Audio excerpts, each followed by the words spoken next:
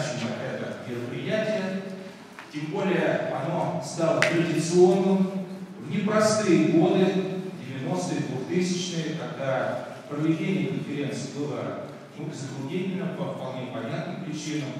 Э, оргкомитету удалось выдержать этот темп, и сегодня уже шестая конференция начинается.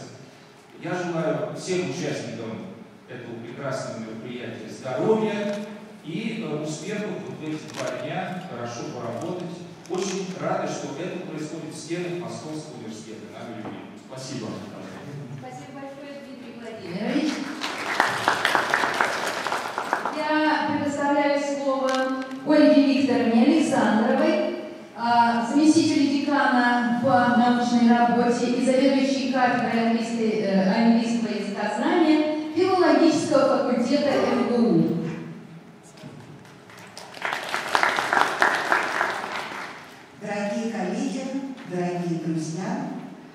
А, я очень рада, что меня пригласили участвовать в открытии вашей конференции, потому что все мы, преподаватели языков и русского, и иностранных языков, знаем, какое огромное значение имеют информационные технологии в настоящее время.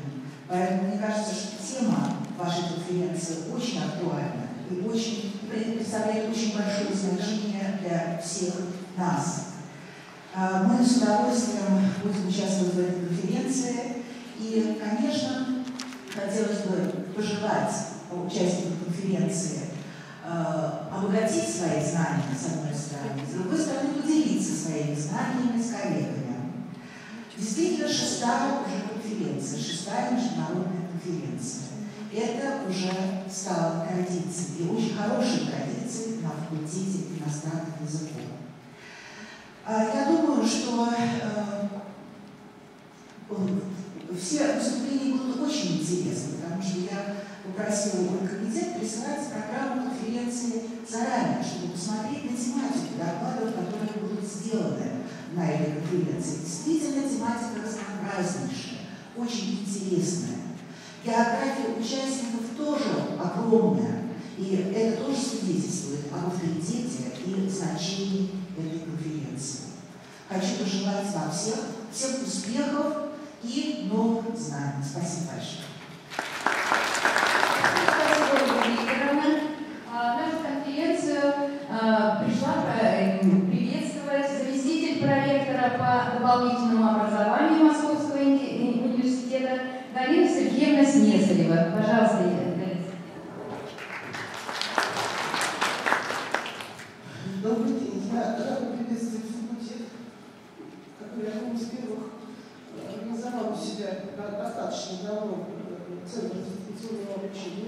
Из первых был и успешно такой вид обучения осуществляет. Наше государство с вами занялось электронным обучением платформы. Примерно 2 мая состоялось наше заседание Государственной Думы, в котором это обсуждалось. У нас создана межведомственная комиссия, заседание которое перед, перед э, Первым государственной думе состоялось на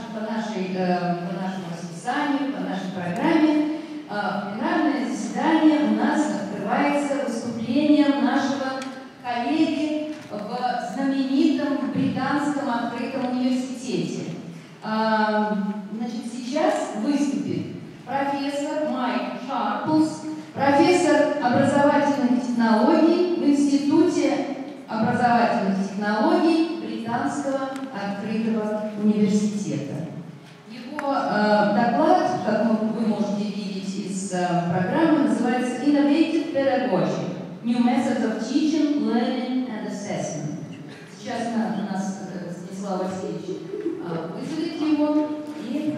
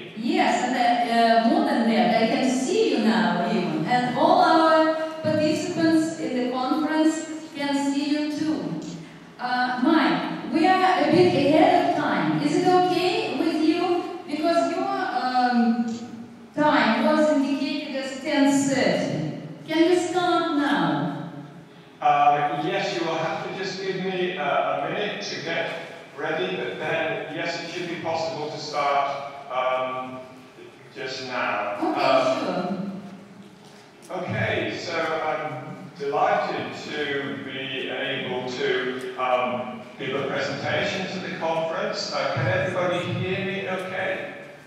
Um, yes. Can you hear the applause that people just greet you with? Yes, I can, uh, and it's good to be able to see the people at the conference. Um, so, uh, let me, uh, what I haven't quite got ready is getting the, the PowerPoint presentation. Now, I need to switch over um, to the PowerPoint presentation into a screen share, and that will just take a second to do. Um, I expect it to take uh, a little more time to be able to do that. So, if we can just see how I can do that. Mike, no worry, no I Do what you need to do. Okay, I'm just trying to do this now. Um,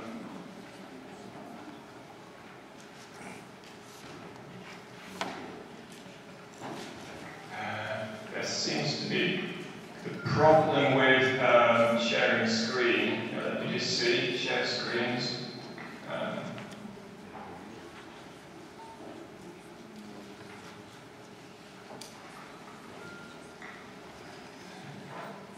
so I think there is a problem with sharing my screen at the moment. Um, we had tested this before, and it was working okay. Um,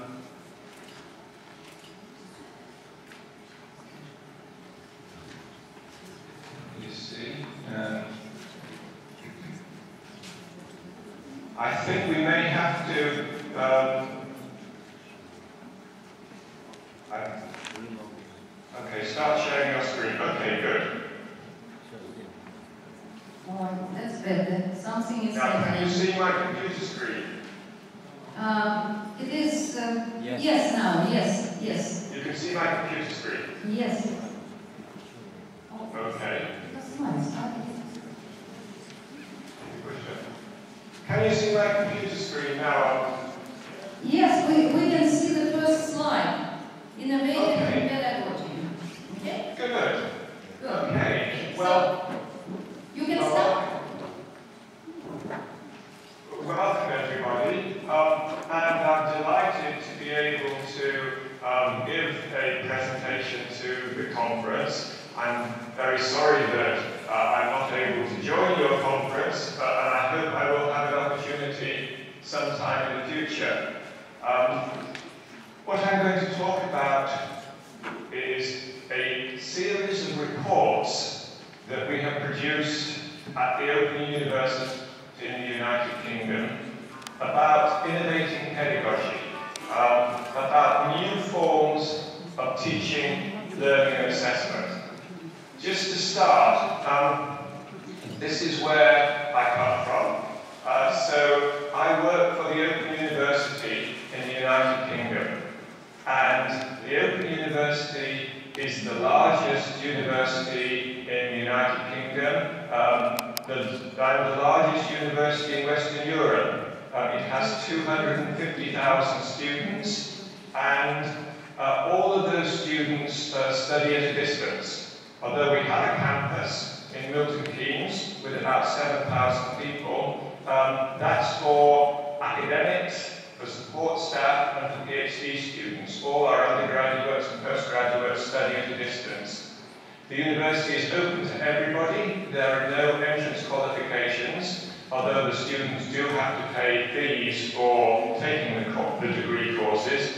We have over a thousand academic staff, and the way we teach is through a method called supported open learning, where the students learn online, but they get the support of local lecturers, local tutors. So all students have uh, a small group where they have the support of uh, an associate lecturer to work with them. So it's a modern approach to distance education. So that's the background from where I work. And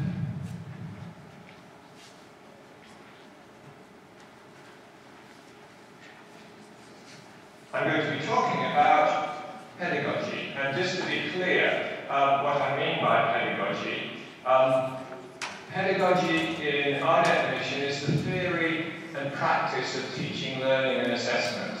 So uh, it's everything to do with how you teach, how students learn and how they're assessed. And the reason for writing this report, or these series of reports, were that there have been major previous reports, uh, particularly one called the Horizon Report, which has been produced by a number of scholars in the United States and the United Kingdom and other countries, about the influence of technology on teaching. But there was nothing similar about the influence of pedagogy on um, the student experience. And so we wanted to focus on what are the innovations in teaching, learning and assessment that are going to be important in the near future. And so for each report, we chose 10 innovations uh, and described them in more detail, um, saying what they were and what their impact was likely to be in the short term and the longer term. Um, and what I want to do very briefly with you is uh, to pick out just a few of those innovations that we identified. We now have identi uh, identified and discussed uh, over 20 of them, and we're just producing this year's report with further innovations. So I want to pick out one or two of them. Um, so this is the reports, they're all available online, and I will give you the, uh, the URL, the link at the end. So it's an annual report that explores new forms of teaching, learning and assessment for an interactive world.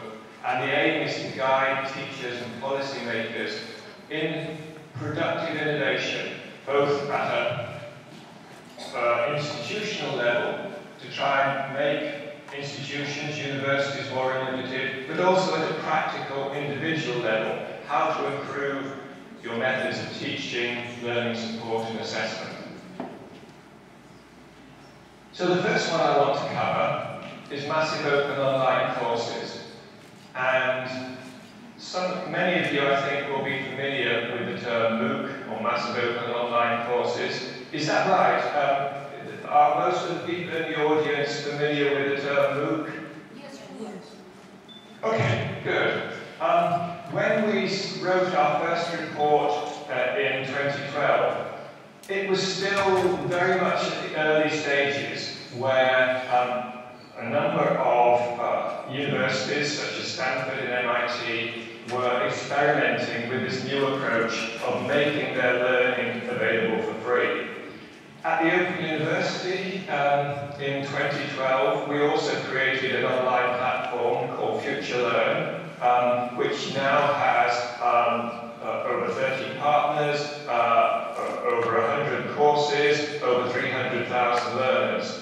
Um, and the uh, picture that you can see here is of one course on corpus linguistics, so that uh, I know that the audience has uh, an interest and a background in language and linguistics. So FutureLearn, like um, some of the other MOOC providers, offers free online courses in areas of linguistics uh, and language learning, ranging from introductory language learning up to uh, advanced linguistics. So this is part of a course on corpus linguistics. Um, and just one, we call them steps, one element in that course with a video and some text.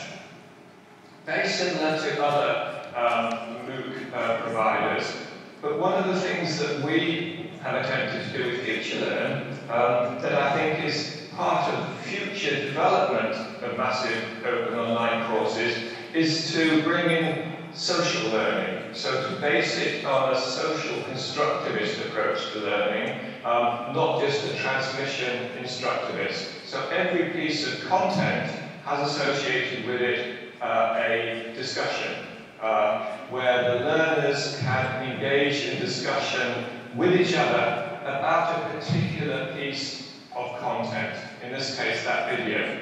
And there are very rich um, and engaging um, discussions uh, expanding on the content. You can see here uh, on the right hand side um, a discussion about um, the glossary definition of collocation and um, the person who's writing this, one of the learners, saying that the definition uh, is not one that he can understand, um, trying to understand it, and other learners coming back with responses as to how to help that learner understand the definition of collocation. Um, one of the people who responds is the lecturer, the educator, and there's a rich discussion.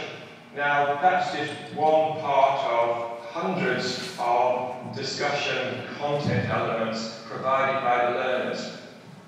And what's happened is that you not only have the transmission of information through these massive online courses, but because you have the large scale, because you have 10 or 20,000 learners engaging with each course, then the contributions that they make become a rich resource for other learners and making it easy to add those conversations, to link them into the content material means that it enhances each element of the course.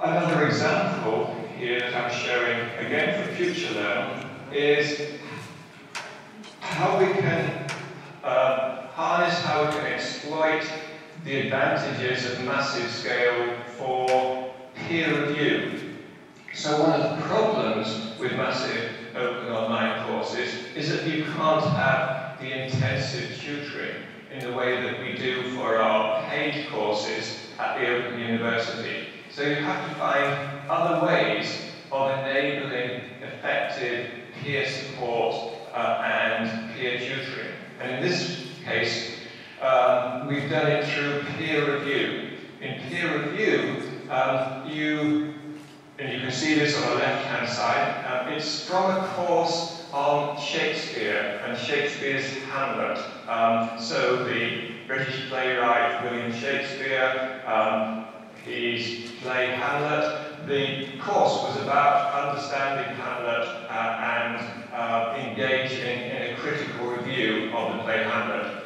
This peer review was about um, asking learners to decide which version of the play, uh, because there were a number of versions that were written by Shakespeare, which version of the play they preferred. It was set an assignment with a structured rubric, a structured way to address that question.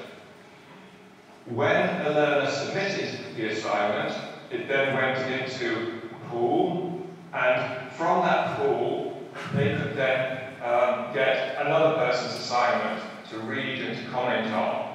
Um, and again, they use a structured format to produce a comment and helpful critique.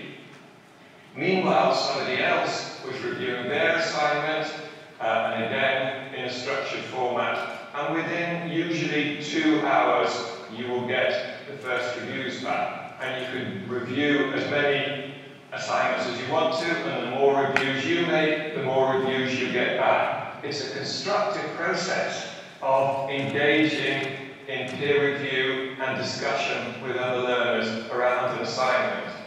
Um, it's something that the larger the scale, the more people who are involved, the more effective it is. Um, and one of the things we want to do with MOOCs as a new pedagogy is to explore how we can use the massive scale to make certain forms of learning more effective, in this case peer review and also online discussions. So that's one example of a new pedagogy around massive open online courses.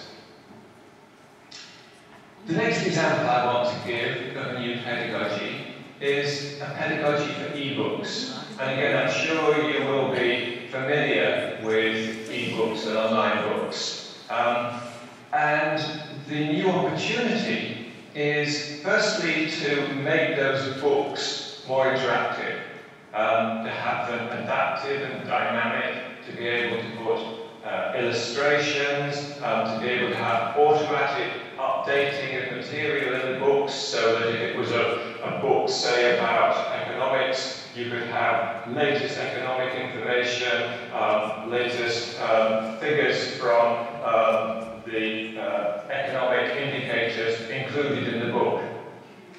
But just like MOOCs um, are becoming more social and more socially engaged, so can ebooks.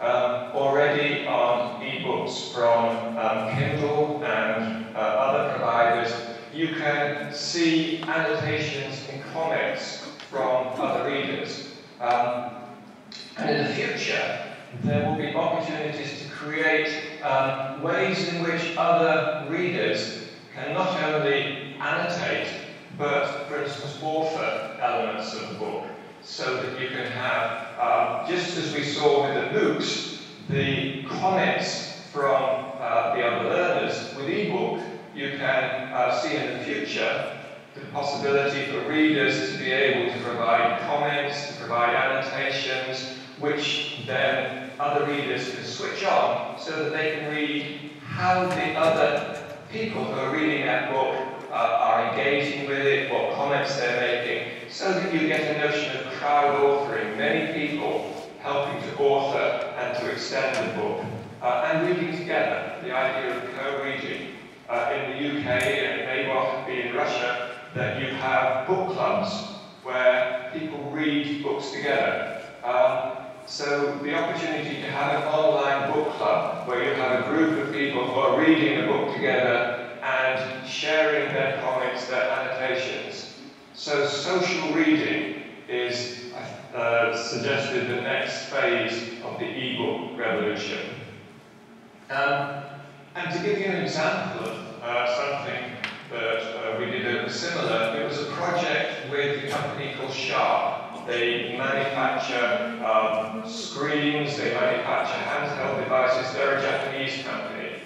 And what they were interested in is how can you enable people to learn a foreign language in the context of reading from books, particularly learning of vocabulary and incidental learning of vocabulary. So rather than teaching vocabulary elements, enabling somebody who is reading an e-book in a foreign language to learn vocabulary in the context of reading that book. That fits into the gaps of everyday life and is also adaptive so that each time you read a book, it's appropriate to you and the vocabulary is appropriate to you as a reader. And to bring in aspects of games, so uh, an e-game as well as an e-book. So the idea is that you are reading an e-book um, for pleasure, for enjoyment, but also, since it's in a foreign language, for vocabulary as well, to extend your vocabulary. As you're reading the book, either the book selects for you, or you can select yourself words that you want to know more about. So you have a personal vocabulary. Um, you can rehearse that vocabulary list. You can ask for definitions of the words, of the words used in context. You can see concordances. But also, um, you can use those words then to play games. Um, so you can extend your understanding of vocabulary by playing games around it. For example, you can practice sentence construction with an online game from the words that you have read in the book. And as you play that game using the words from the book, there may be missing words as you play the game, words that you don't understand in playing the game. So you go back to the e-book to try and find those words and those words used in context. So the idea is that you have an e-book and an e-game, both of which are helping you to extend your vocabulary. Now I'm just going to show you an example of one for younger children. Um, this is it here. It's one that we developed with Sharp Labs and also Oxford University Press. Um, It's based on an Oxford University Press book for younger readers who are learning English. So you have um, on the left-hand side the story. Uh, the book can read you the story, um, but also it can indicate certain words um, that the, it thinks is at your vocabulary level, or you can select those words yourself, uh, and you can get uh, a dictionary definition of those words. But also, um, you can start to play a game, and this is the game, again it's for younger children. Uh, on the left-hand side, you see the words that you have collected from the book.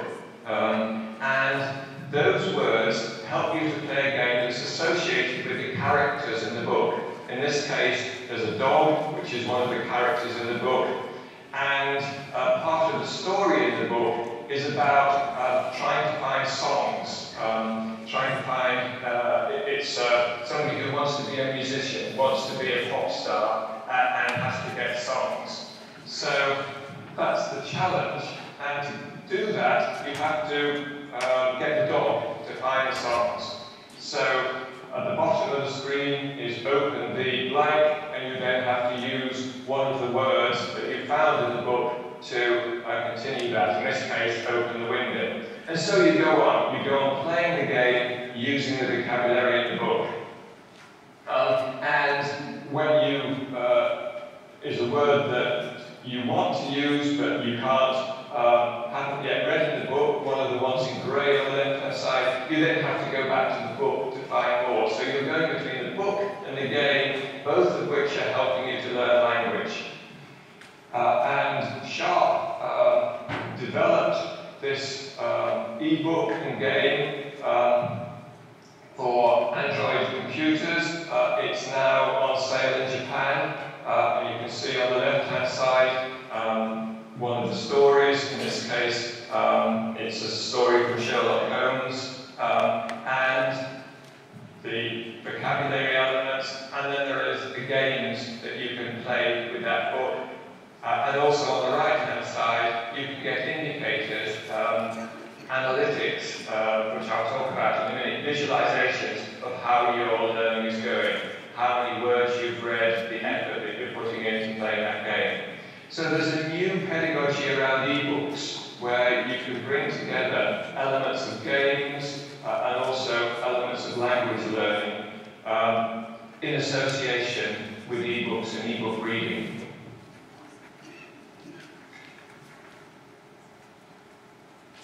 The next piece of pedagogy I want to talk about, the next pedagogy innovation, is seamless learning. And as you'll see, all of these different pedagogies fit together. So, um, where I was talking about ebooks and about day life,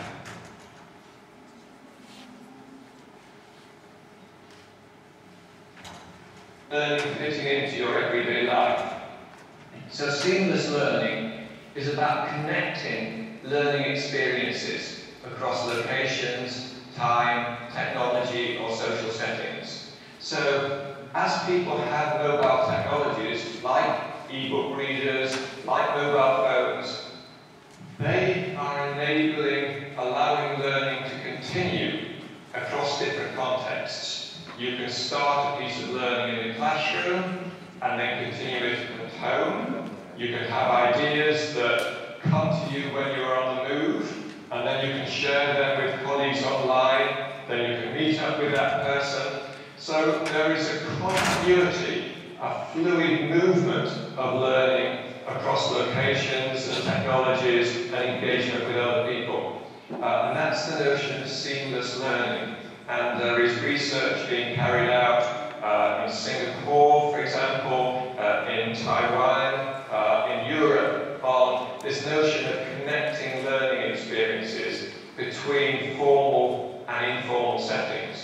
And one key challenge for that is if there is this continual flow of learning across times, across locations, how can we enable learners to, to pause, to stop for a little bit, and to be able to reflect, to think about the learning that they're doing? How can we create teachable moments where the learner stops for a time, maybe discussions with other people. How can we create these teachable moments from this technology-supported flow of experience? So that's the central issue of seamless learning. Um, and I want to give you an example of that from another project that I'm involved in. This is a project uh, with the Swiss government, with Switzerland. And they have, um, like many countries, uh, a vocational education system where they put a great deal of effort into enabling people um, who don't want to be academics, but who want to have a vocational, a work-based learning experience um, to engage not only in learning in the workplace, but also learning in a college or a classroom. And the big problem is how do you connect those two? How do you connect the learning that goes on in the workplace and the learning that goes on in the classroom? And they have developed a model here uh, of that learning process where you collect um, ideas, you collect evidence, you collect instances of learning in the workplace, which you then prepare in the classroom, and then you share with other learners, with, with a teacher, and then you take that back into the workplace to validate it, um, to extend it. And I'll just give you some examples of that. One example is about dental assistants, so dentist's assistants, who in the workplace um, capture examples of problems that they have in the workplace. In this case, because they're dentist assistants, problems with teeth. And they use uh, images uh, on mobile phones to capture issues or problems in the workplace. They then select those pictures and prepare a, a, an online page which they then share with their classroom to discuss that problem in class and then they take back into the workplace the solutions to those problems. Another example, very similar, is car mechanics. People who are working in a car garage or in a factory with a head-mounted display, a camera on their head, where they can take very short video sequences, which they then edit and um, add their text about what went wrong, what was the problem, so a critical incident, a problem in the workplace, which they then discuss in the classroom with their peers, with their colleagues, and then they take back into the workplace to then uh, try and talk with their supervisor about how you solve those problems. So that's seamless learning, about connecting learning in the workplace and learning in the classroom and back into the workplace. The last element, and because I can't cover all 20, the last one I want to mention is about learning analytics. And learning analytics is underpinning a lot of the innovations that are happening in teaching, learning, and assessment. Um, I showed you that e-book earlier on and the design from Sharp, where as a learner you can see a graph of your vocabulary level and how your vocabulary is increasing uh, and the effort that you put in. That's an example of providing analytics back to the learner.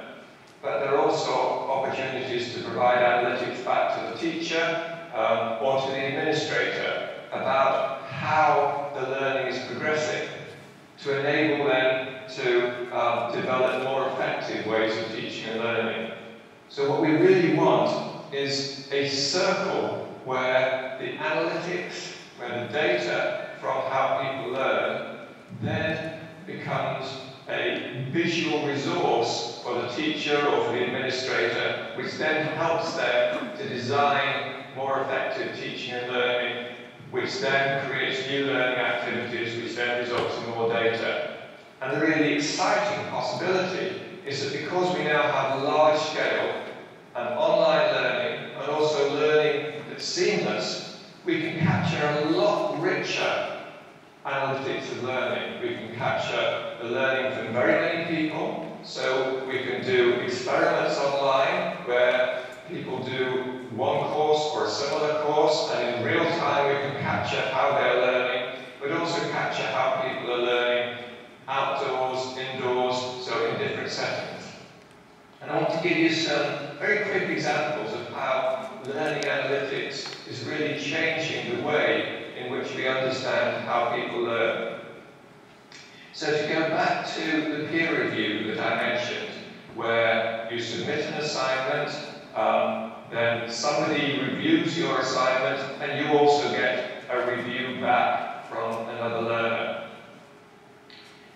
So in FutureLearn, every day we get analytics back, and we share those with the universities that are putting on the courses. So this is an example of the kind of top level, the highest level analytics we get back. So from our first eight courses for peer review, we had 6,000 submissions, 10,000 reviews, uh, and for each learner, on average, they got back uh, between uh, one to two reviews on their assignment. Now on average, they're getting back two reviews per assignment.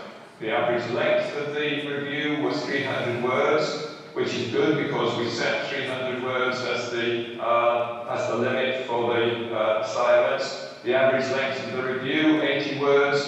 We found that a third of the people who were taking part in the course engaged in this peer review. And most important, it took three hours on average from submitting your assignment to getting your first review back. So that's top level statistics, analytics you can get back.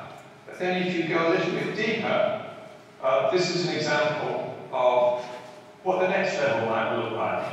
Um, so these here are all of the assignments on one course. And what it shows along the bottom is the time between writing or first seeing your assignment and um, uh, getting, uh, submitting that assignment. So the time that each learner takes from first seeing the assignment to handing it in, to submitting it online. On the left-hand side, up the uh, other axis, you see the number of words. Now, you would expect that the longer it takes somebody to write an assignment, the more words they would write, which you can see, you can see a trend of the longer, the more minutes, the more words. But there are some strange things. For example, if you look right at the left-hand side, you will see an assignment that was a thousand words, but took less than a minute. So what was happening there? Why, how could somebody submit an assignment that was a thousand words, but took less than a minute to write? And the answer was that they were copying, that they had just copied the words from another place and pasted them in. As uh, if you look down at the bottom left, then you see some assignments that are very, very short and take no time to write. And those are people who are just writing rubbish. So what you want is to, firstly, not send out the assignments of the rubbish to be reviewed, and also to pick up the people who are copying um, and uh, give them some extra guidance that they should be writing their own assignment, not just copying and pasting. So we can look for patterns in the data to help us um, both make the process more efficient, but also to give guidance to individual learners as to how they may be more effective or to stop them copying. Um, so we can do more detailed analysis. Um, so uh, another example is that um, on the MOOC platform uh, we have videos and one of the questions we wanted to ask was how long should a video be? Uh, how long is it before, if you're watching a video, you get bored? Well, we know exactly the answer to that now because we have tens of thousands of people who have been watching the videos on a platform and we know exactly when they quit, when they uh, not just finish watching the video, but quit from the course altogether. And the answer is 10 minutes. That um, under 10 minutes, people generally engage with watching the video. If the video is longer than 10 minutes, you get a very rapid drop-off of people leaving the course. So we know lots of things now about the details of how people learn, but also the bigger picture of how people learn. And we're using this information to improve the quality of the teaching and learning. So it's a very exciting time where we have massive scale experiments with teaching and learning. We have new pedagogies such as seamless learning and learning from e-books. And there is a real opportunity for people with language skills to be able to do some of this analysis and to engage in some of these new teaching practices. For example, because we get all of the comments back from the learners, we can do analysis of the text of the comments and of the discourse of the comments. For example, looking at sentiment analysis of whether the comments are positive and negative, about the progression of the dialogue. We have very rich data now to understand the language aspects of how people are learning. So I want to finish up now um, and to say that at the moment we are looking not just at new technologies for learning, but new pedagogies, new ways of learning and assessment that can really guide innovation for the future. So while the technologies and the policies may change, good pedagogy is absolutely central to the future of learning and good pedagogy endures. The URL for our reports is down below. It's www.open.ac.uk slash innovating. All the reports are free uh, and you, if you go to that site you'll be able to get access to them. I hope I've given you some short examples of innovations in pedagogy and some inspiration as to how these may be used in your own teaching and learning. Thank you.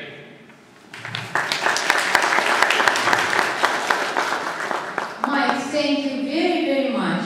It was really enjoyable, um, very useful, and very educational. And who knows, probably we might think about starting um, open courses, massive open courses, and then we will need coaching, your instructions on the new pedagogy. Thank you very much. And that's when we can see you in person here. Bye bye. Thank you. Goodbye and thank you, and I wish you all